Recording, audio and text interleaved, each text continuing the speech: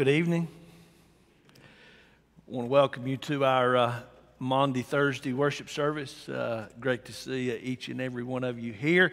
Uh, if you're visiting with us tonight, I want to say a special welcome to you. Uh, glad you're here. We'd love for you to come back and uh, worship with us uh, tomorrow night, uh, Easter Sunday. Uh, also, want to welcome those that are worshiping with us on Facebook Live. thankful that you can be a part of this service as well. And remind you about our Good Friday service tomorrow night at 7 o'clock. it will be in our Family Life Center, not here in the main sanctuary. And then we'll have both of our normal Sunday morning worship services at 9 uh, and 11. Um, if you don't have a bulletin, I uh, encourage you to get one. Our communion liturgy uh, is printed in the bulletin tonight. Uh, and I want to invite you to join with me uh, in our opening prayer that is also printed there in your bulletin. Let's pray together. Holy God, we come to worship in the gathering shadows of Jesus' suffering and death. We come with friends, the men and women who have followed Christ in every place and in every generation, to live once again the story of service and betrayal, of weakness and courage. We come to witness your love in action. Be with us, we pray. In Jesus' name, amen. Our opening hymn this evening is number 286, O Sacred Head Now Wounded. Please rise as you're able and join us again. That's number 286.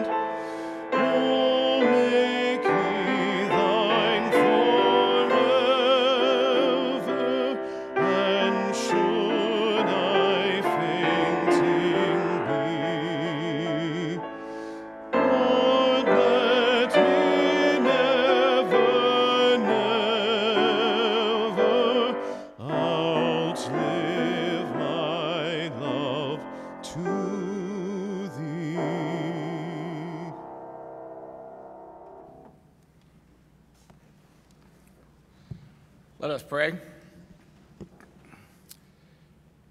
Gracious God, we give you thanks for this night, for the privilege of gathering together to remember, to celebrate, and to share.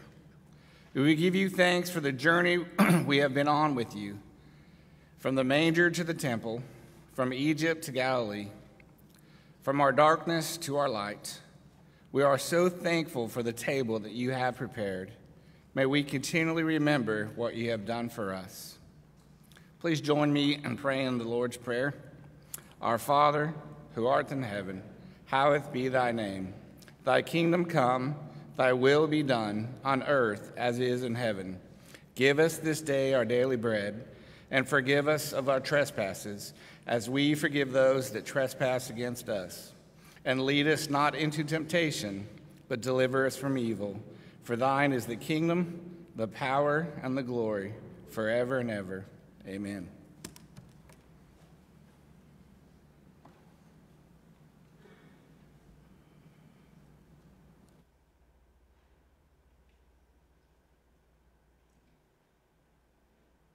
Our scripture reading tonight comes from John's Gospel, John chapter 13, beginning in verse 1. Hear God's word.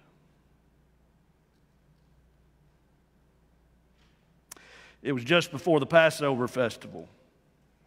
Jesus knew that the hour had come for him to leave this world and go to the Father. Having loved his own who were in the world, he loved them to the end.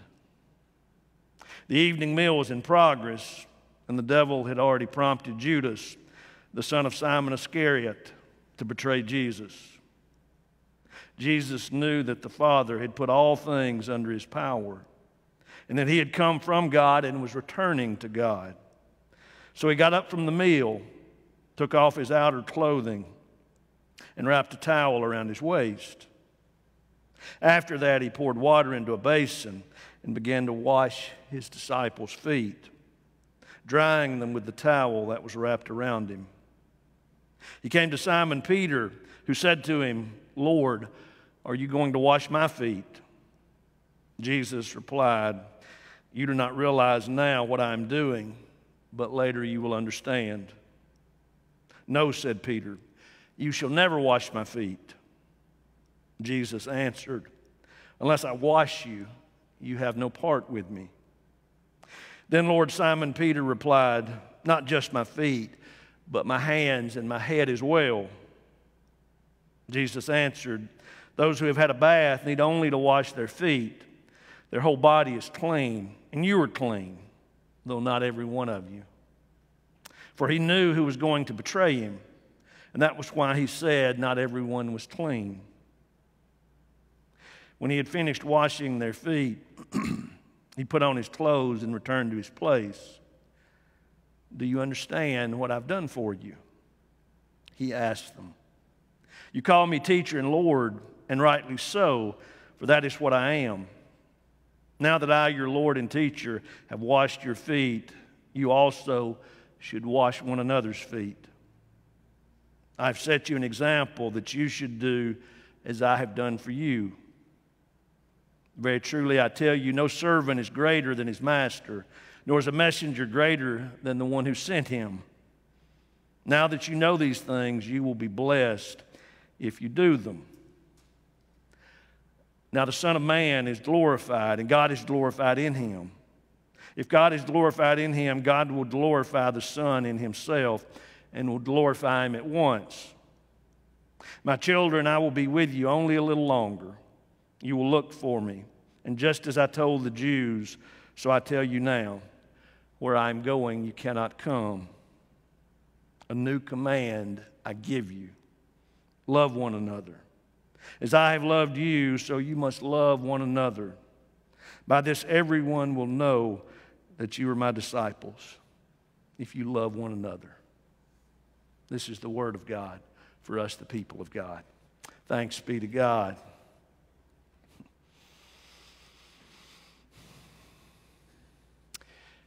When I started uh, working in the construction business, way, way back uh, in uh, 1992, I didn't have a clue in the world what I was doing. Uh, I had majored in marketing at Auburn. Uh, and uh, I had majored in marketing not because I was passionate about a career in sales. Uh, I majored in marketing because it was the easiest possible degree that you could get in the School of Business. That, that was the whole reason why that was my major. Uh, and uh, I would have been much better off. It would have better prepared me uh, for life as a general contractor uh, if I had gotten a degree in building science. But that was never, ever going to happen because there was way too much math uh, involved in uh, getting a degree in building science. So after I graduated, went back home to Guntersville and I started working for a contractor there. Uh, and I had to learn the construction business uh, from this guy. Uh, and I had to learn it from scratch. Uh, and one of the most difficult things for me to try to grasp was estimating, uh, figuring the cost of a construction project, which, if you're a contractor, that's pretty important.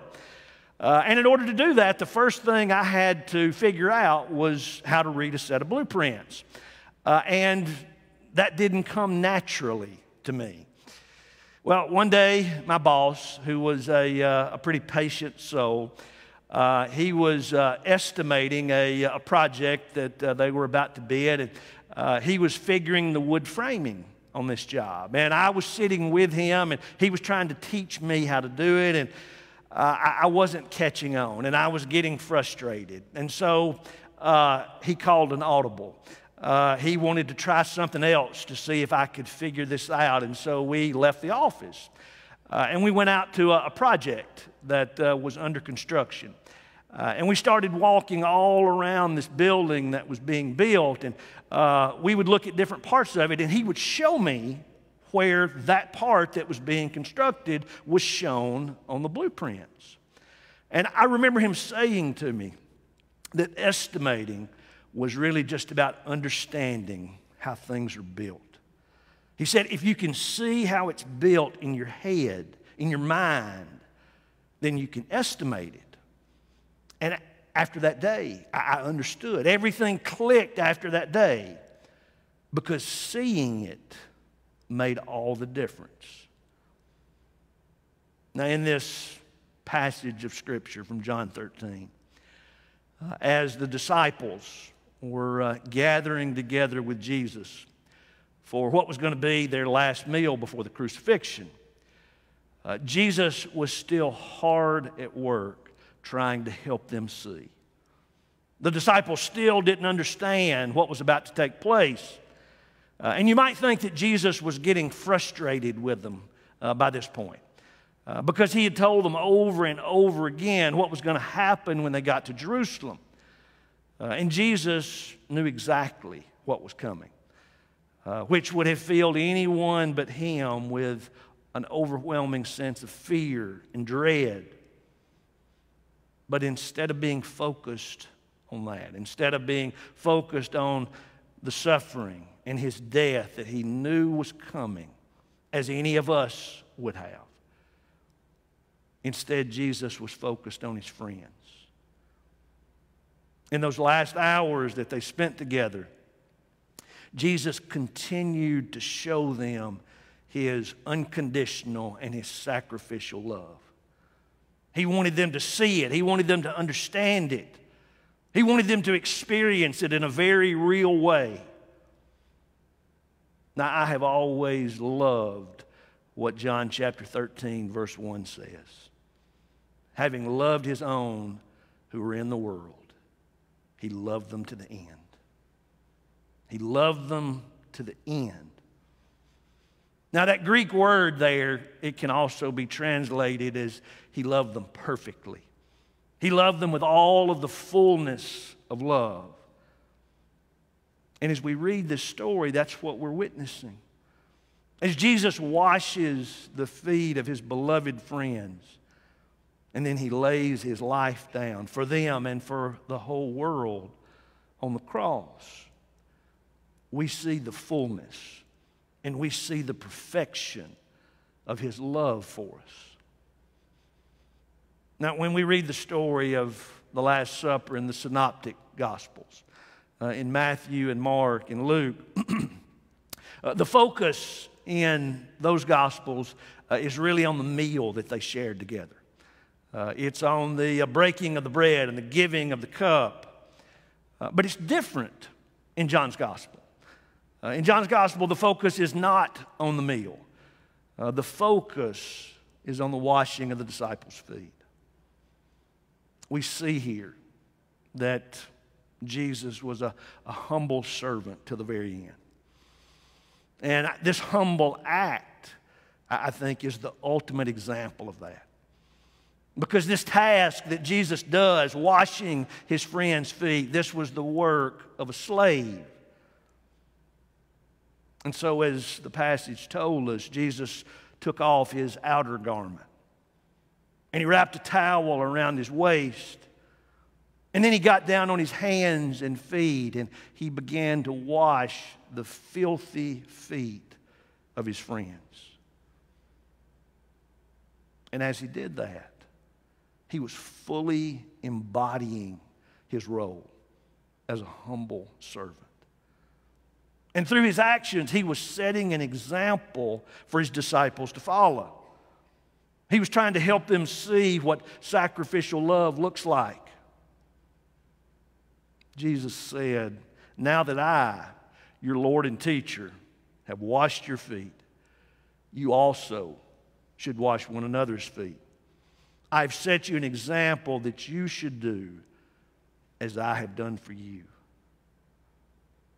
Now, when we think about Jesus washing the disciples' feet, I think that really helps us to see and it helps us to understand the nature of Jesus' love.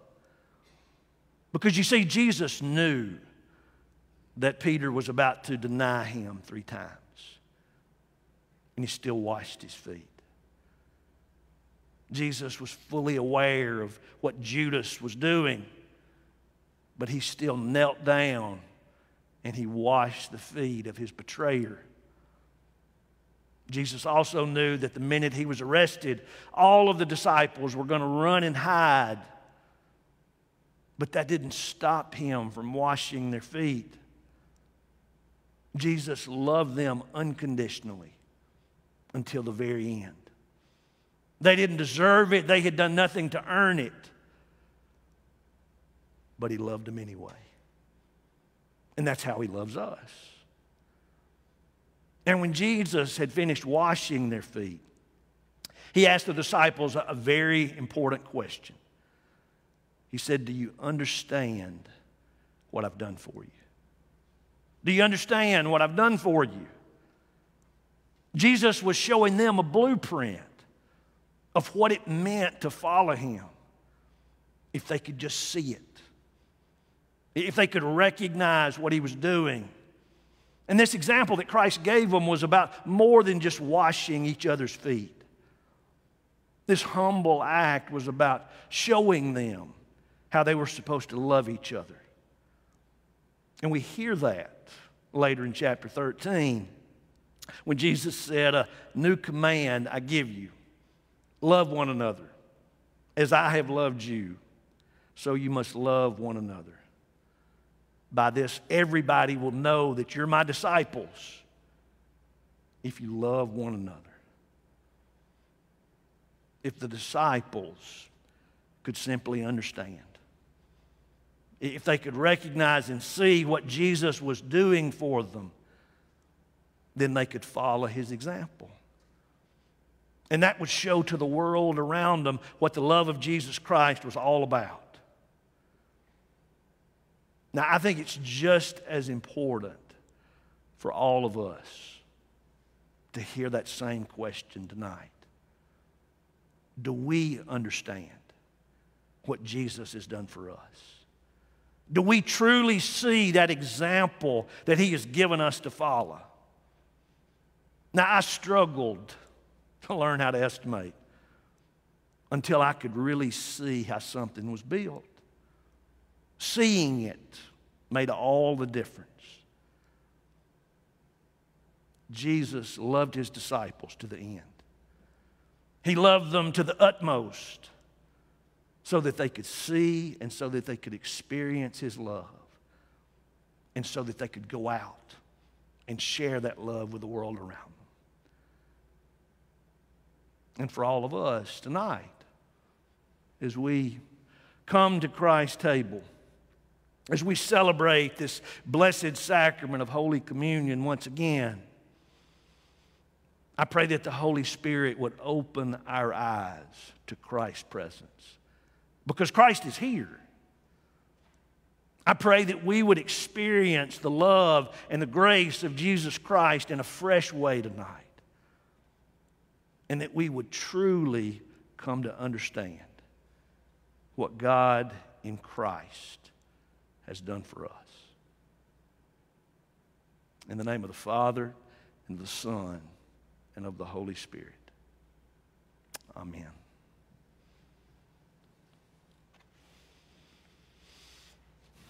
I invite you to uh, find your bulletin.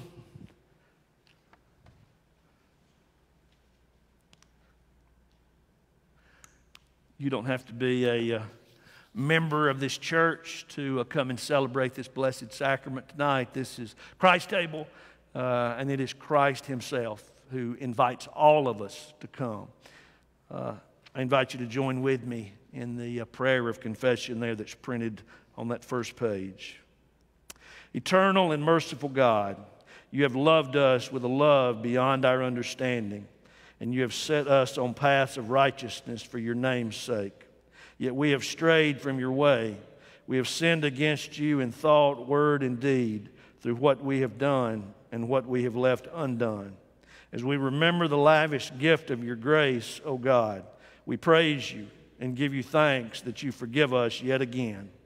Grant us now, we pray, the grace to die daily to sin and to rise daily to new life in Christ, who lives and reigns with you and in whose strong name we pray. Amen. Who's in a position to condemn? Only Christ. But Christ suffered and died for us, was raised from the dead, and ascended on high for us, and continues to intercede for us. Believe the good news. In the name of Jesus Christ, you are forgiven.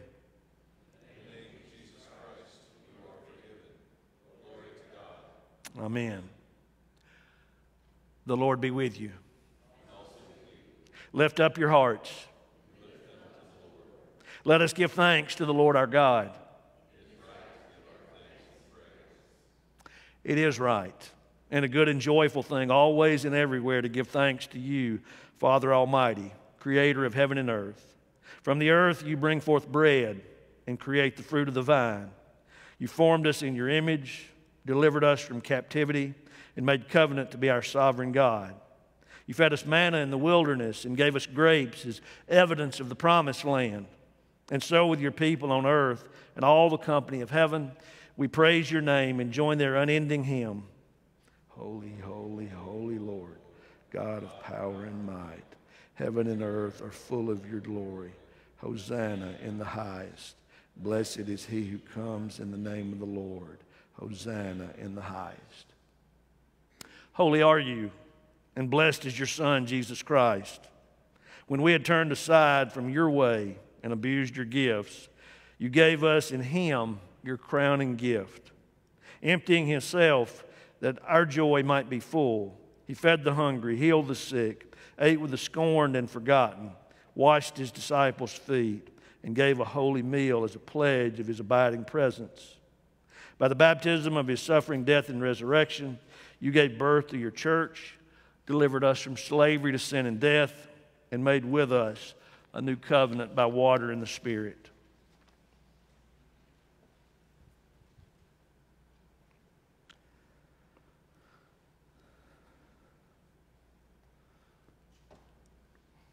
On the night in which Christ gave himself up, he took bread from the table and he gave thanks to you, Lord.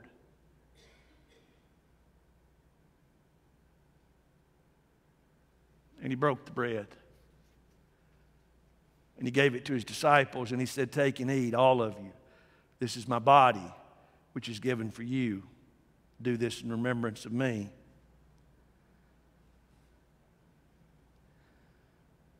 And in the same way, when the meal was finished, Jesus took the cup from the table. And again, he gave thanks to you, Lord.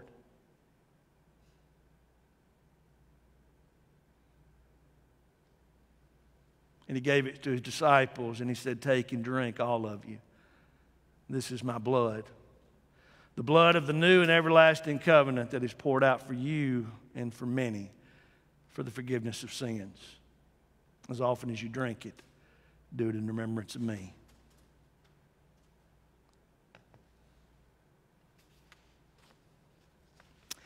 And so, in remembrance of these your mighty acts in Jesus Christ, we offer ourselves in praise and thanksgiving as a holy and living sacrifice in union with Christ's offering for us as we proclaim the mystery of faith.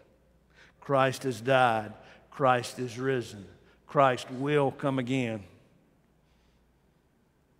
Oh Lord, pour out your Holy Spirit on all of us gathered here tonight and on these gifts of bread and wine. Father, make them be for us the body and blood of Christ, that we may be for the whole world the body of Christ, redeemed by his blood, by your Spirit. Make us one with Christ, one with each other, and one in ministry to all the world until Christ comes in final victory and we feast at his heavenly banquet. Through your Son, Jesus Christ, with the Holy Spirit in your holy church, all honor and glory is yours, Almighty Father, now and forever. Amen.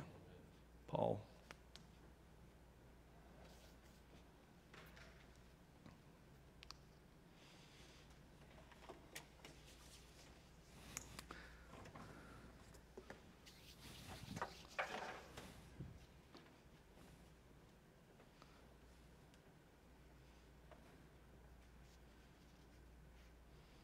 Christ's body given for you.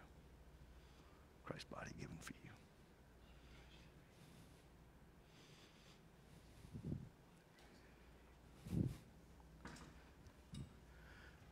We'll be serving by intinction. We'll place a piece of bread in your hand as you come, and if you dip it in the cup, uh, we have prepackaged communion elements uh, uh, if uh, you would rather have those. And uh, after you have received the elements, uh, you're welcome to spend some time at the altar in prayer. and as you return to your seat, just ask you to remain in an attitude of worship. We'll serve this side first and then this side. invite you to come.